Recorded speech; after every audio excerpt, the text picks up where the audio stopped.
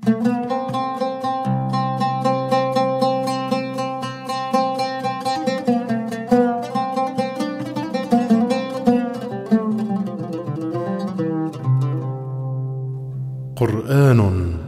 وواقع.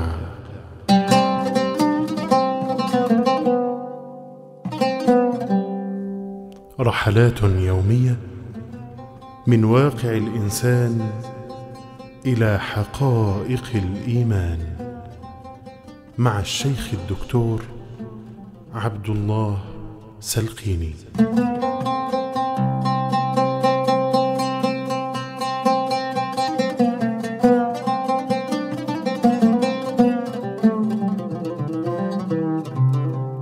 بسم الله الرحمن الرحيم. الحمد لله رب العالمين وصلى الله على سيدنا محمد وعلى آله وصحبه أجمعين. وبعد نظافة المجتمع المسلم ماديا ومعنويا وصحيا. يقول الله تبارك وتعالى وأنكحوا الأيام منكم والصالحين من عبادكم وإمائكم. إن يكونوا فقراء يغنيهم الله من فضله والله واسع عليم. وليستعفف الذين لا يجدون نكاحا حتى يغنيهم الله من فضله والذين يبتغون الكتاب مما ملكت أيمانكم فكاتبوهم إن علمتم فيهم خيرا وآتوهم من مال الله الذي آتاكم. ولا تكرهوا فتياتكم على البغاء إن أردنا تحصنا. ومن يكرههن فإن الله من بعد إكراههن غفور رحيم. وأنكحوا الأيام منكم. الأيام جمع أيم والأيم من لا زوج له من النساء والرجال. يقال رجل أيم أي لا زوجة له وامرأة أيم أي لا زوج لها. انظروا أيها الإخوة أيها الناس انظروا إلى عظمة الإسلام.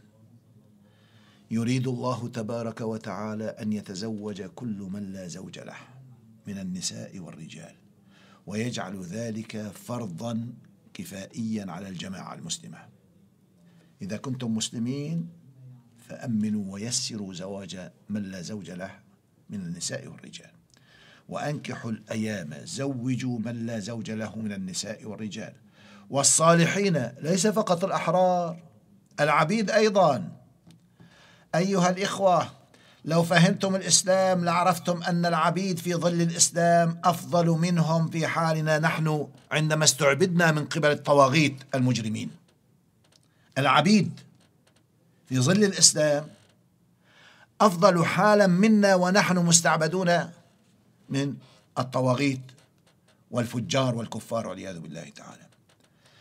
اذا أنكحوا الأيام منكم والصالحين من عبادكم وإمائكم من عبيدكم يعني إذا كان عندكم عبد ورجل صالح ممكن يتزوج زوجوه عندكم أما ما بدك تتخذ يعني أم ولد هي لها حق أن تتمتع بزوج زوجها والصالحين من عبادكم وإمائكم. إذا أمر بالتزويج أيضا للإماء وللعبيد. بعد قليل نتكلم عن العبودية.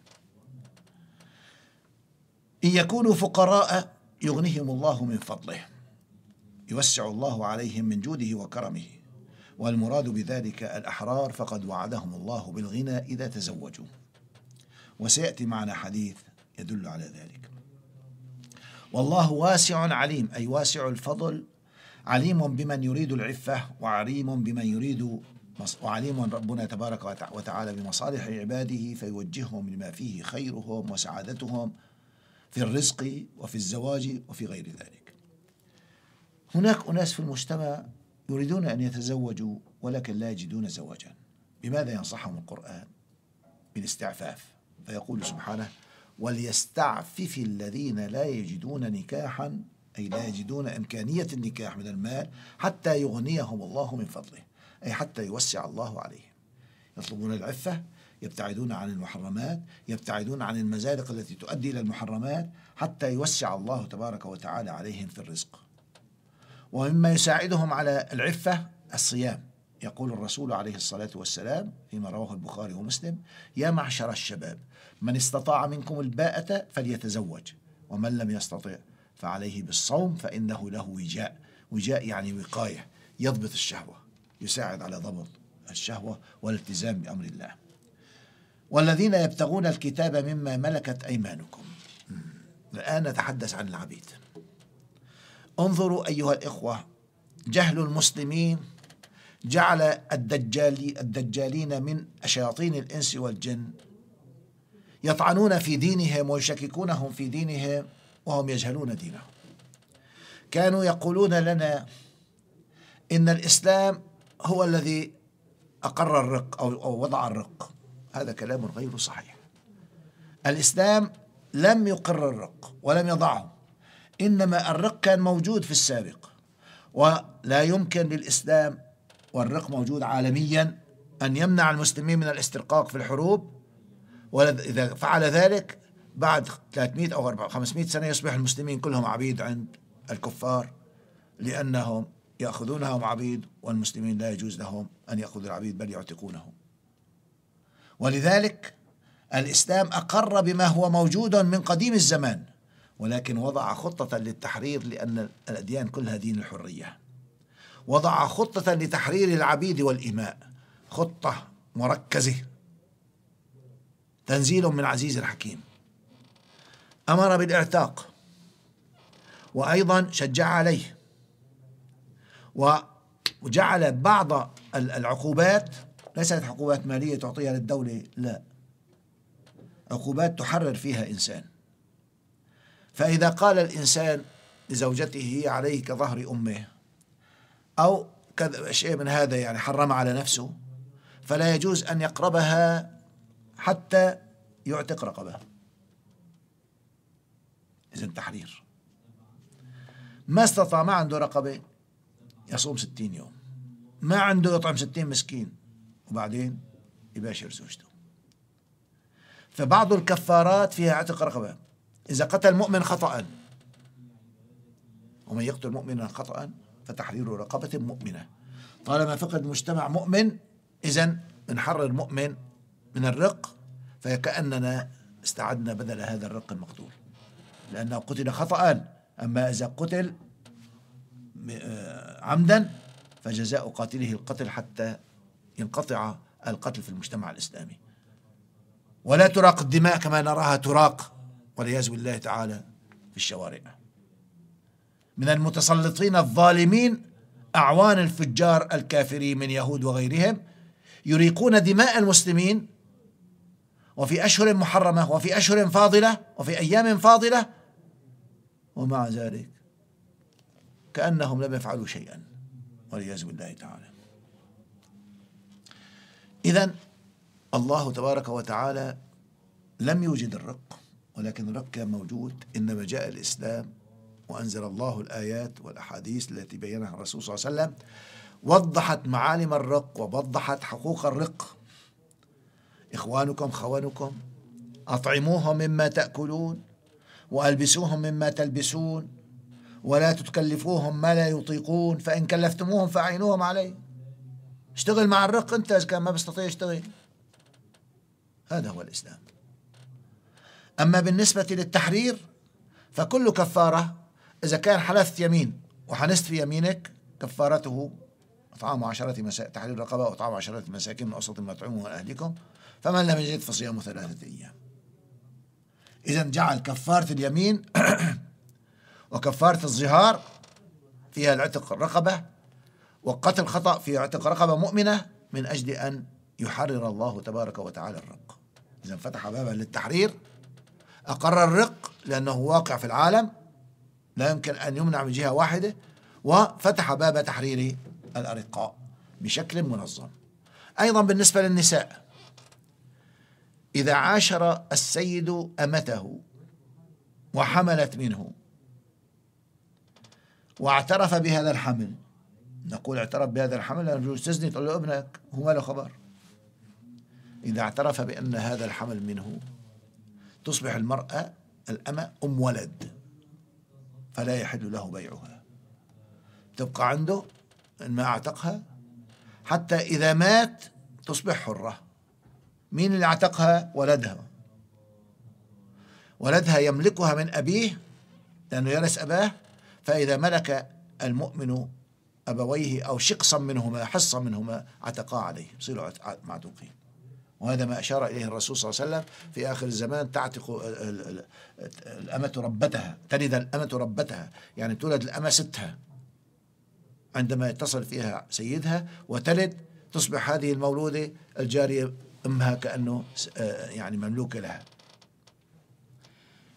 فإذا الرق نظمه الإسلام من أجل التحرير لأن الإسلام دين التحرير. فهنا نوع آخر من تحرير العبيد. قد يكون إنسان عنده عبد. وهذا العبد صالح لأن يعيش حياة سعيدة حرة. ولكن مالك العبد يريد مال لا يستغني عن هذا العبد. ففتح الله له مجال المكاتبة. ما معنى المكاتبة؟ إذا طلب العبد من سيده أن يكاتبه فينظر السيد. إذا كان العبد صالحا ما معنى صالحا؟ يعني يستطيع أن يكسب مال ويدفع ثمنه. وإذا أعتق يستطيع أن يعيش صالحا في المجتمع يبني بناء يعني يكون بنية صالحة في المجتمع إذا كان هكذا على السيد أن يكاتبه. يعني يصير بينه وبين عبده صك مكتوب مكتوب فيه مثلا ثمن هذا السيد ألف دينار فإذا سدد هذا العبد ألف دينار لسيده في مدة سنة يصبح حرا. هذا اسمه عقد المكاتبة فيذهب العبد. الأصل العبد يشتغل وماله لسيده ولكن سيده قال له روح خذ المال لك وأعطيني إياه لتشتري نفسك. هذا معنى المكاتبة هذه وسيلة أيضا لتحرير العبيد. أين هذا في العالم كله؟ هذا في الإسلام. العالم كله يستعبد بعضه الآن. بشكل مباشر وغير مباشر وتسيل الدماء. وهم يزعمون أنهم هناك إنسانية هنا ليس هناك إنسانية. والله ليس هناك إنسانية إلا من يصوم عند من يصوم رمضان إيمانا واحتسابا. إلا عند من يصلي إيمانا واحتسابا. هؤلاء عندهم إنسانية أما الباقي الحيوانات أفضل منهم لأن الحيوانات تنفع ولا تضر. إذا ربنا سبحانه وتعالى يقول والذين يبتغون الكتاب مما ملكت أيمانكم أي يطلبون أن تكاتبوهم وتجعلوا عقدا بينكم وبينهم على أن يدفعوا قيمتهم كذا لمدة كذا. فكاتبوهم إن علمتم فيهم خيرا. مو كل واحد طلب والله لازم تكاتبه لا بجوز يكون شرير إذا فلت يكون سوء على المسلمين وعلى المجتمع. فبده يكون فعلا يستطيع أن يجمع مال ويشتري نفسه من سيده وأيضا فيه خير المجتمع وأتوهم من مال الله الذي آتاكم. اتركوا لهم من صك الكتابة شيء. جوز يقرب السنة تنتهي وما جمعوا كل المال. فسيد عليه أن يترك له شيء. أو المسلمون يعطونه من مال الزكاة ليتحرر. أتوهم من مال الله الذي أتاكم. أعطوهم من الزكاة حتى يتحرروا. ويقول الرسول صلى الله عليه وسلم ثلاثة على الله عونهم. الناكح يريد العفاف. هذا المر معنا وليستعفف الذين لا يجدون نكاحا. الناكح الذي يريد العفاف والمكاتب الذي يريد الأداء. عم بطلب مكاتبة مو بس مشان يجمع المال مشان يحرر نفسه.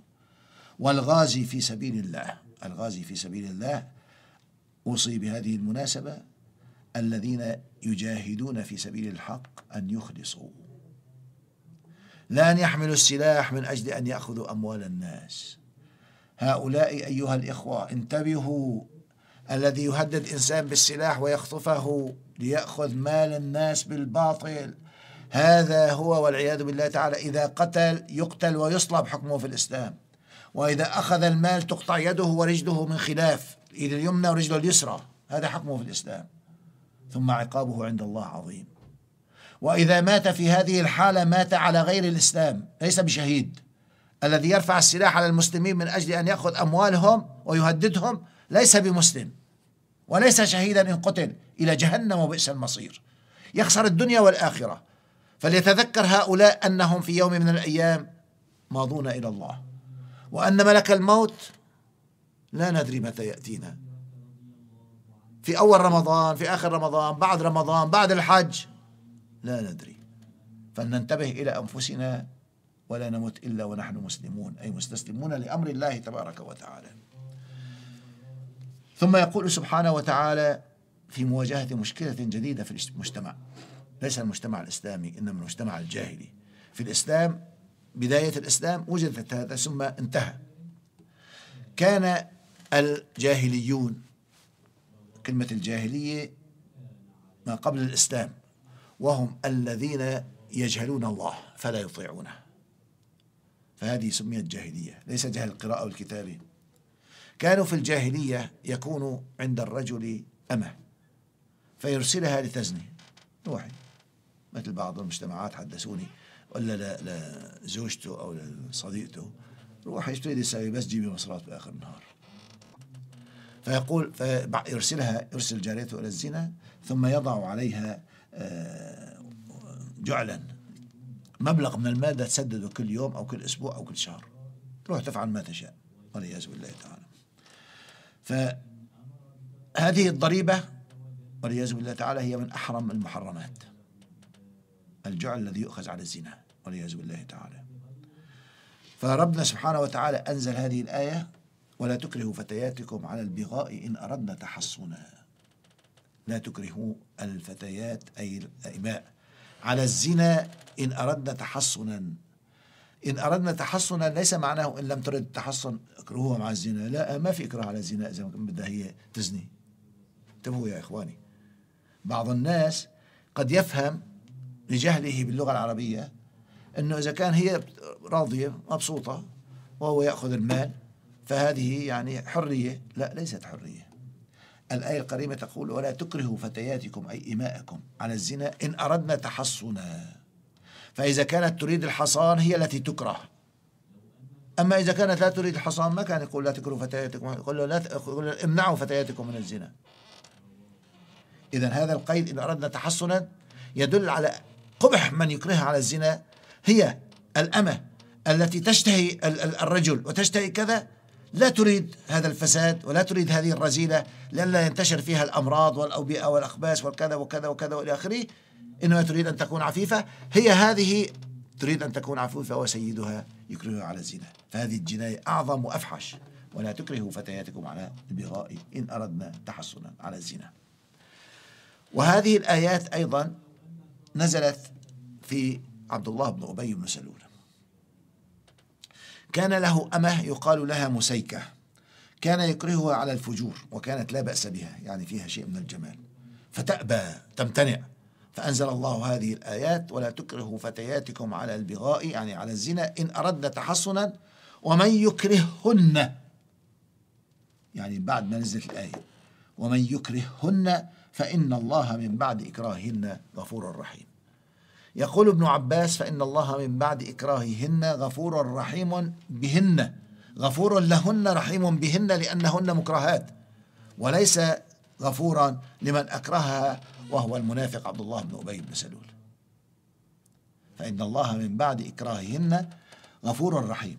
ولذلك المرأة عندما تكره على الزنا وعندما تغتصب رغم أنفها لا إثم عليها إنما الإثم على من أكرهها. لقول الرسول صلى الله عليه وسلم رفع عن أمة الخطأ والنسيان وما استكرهوا عليه. إذا أكره على شيء فلا عقاب عليه. طبعا إذا أكره بشيء يستحق الإكراه يعني يسميه علماء الأصول إكراه ملجئ. أما إذا قال بزعل منك هذا كان ما معي الفاحشة. لا لا, لا تزعل حبيبي. هاي ما هي مكرهة. هاي زانية مثله. أما أن تغتصب كما نسمع يغتصبون المؤمنات إن كان في مصر أو كان في سوريا أو كان في كذا هؤلاء فجار وليسوا يدافع وليسوا من أهل المقاومة كذابين. الذي يعمل مع المقاومة الفلسطينية ضد اليهود لا يفعل هذه الفواحش ولا يستحل ما حرم الله تبارك وتعالى. الذي يستحل ما حرم الله فهو المشرك الذي يطيع غير الله في معصية الله سبحانه وتعالى. والحمد لله رب العالمين.